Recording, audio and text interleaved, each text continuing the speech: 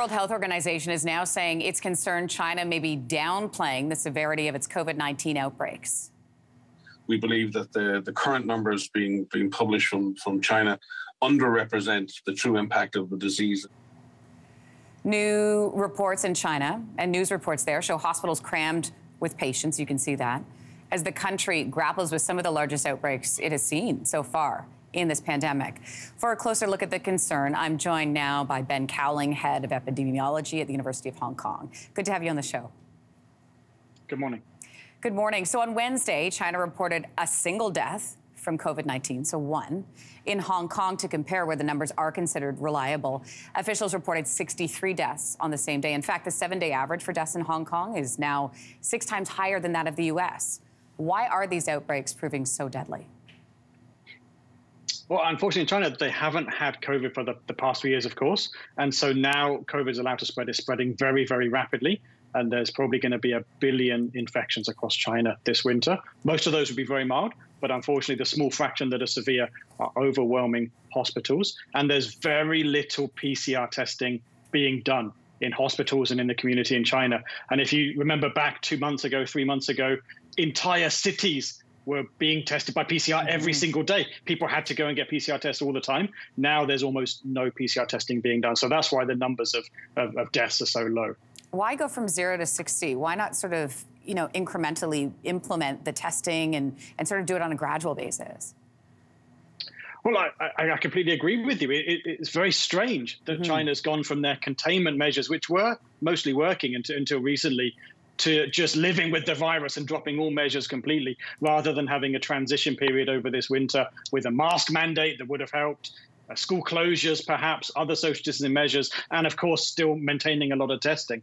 Uh, it, it's very surprising that, that they've moved so quickly, as you said, from it's, it's not from zero to 60 it's from from 60 to zero they, right. they've, uh, they've they had a lot of measures and they've now got no measures yeah, and I think about uh, I think about Ben the the Lunar New Year coming up, and China planning on reopening its borders on Sunday. So, what effect could these two factors have on this situation?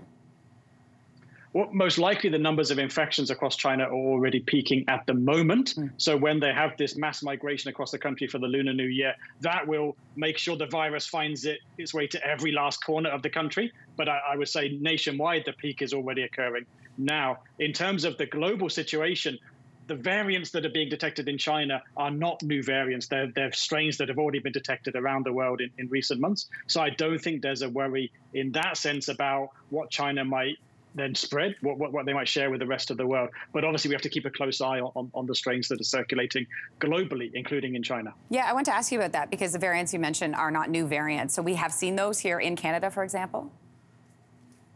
That's correct. That's correct. So they have BA 5.2 and BF7. Both those strains have been in Canada for some time already. The worrying strain at the moment for epidemiologists is XBB 0.1.5, which is being detected in the US.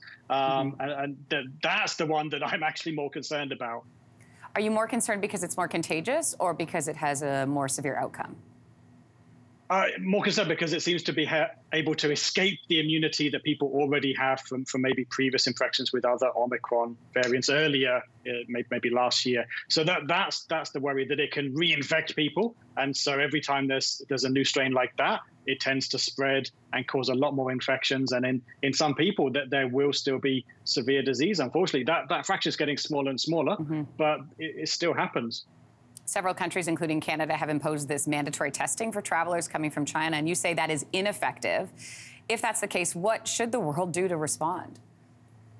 Well, I, I don't think we can hope to stop the international spread of new variants, whether it's whatever happens in China, maybe there will be a new strain, or XBB from 1.5 in the US.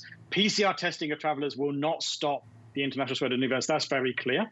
Uh, so I, I, don't think that's actually necessary. It's costly, disruptive to travelers, annoying to travelers. Uh, I don't think it, it, does any good. We do need to keep an eye on the virus. We can have testing of some arriving travelers for surveillance purposes. But uh, unfortunately, we're now living with the virus. We can't stop it from changing. We can just keep an eye on it and mm-hmm. manage the risk.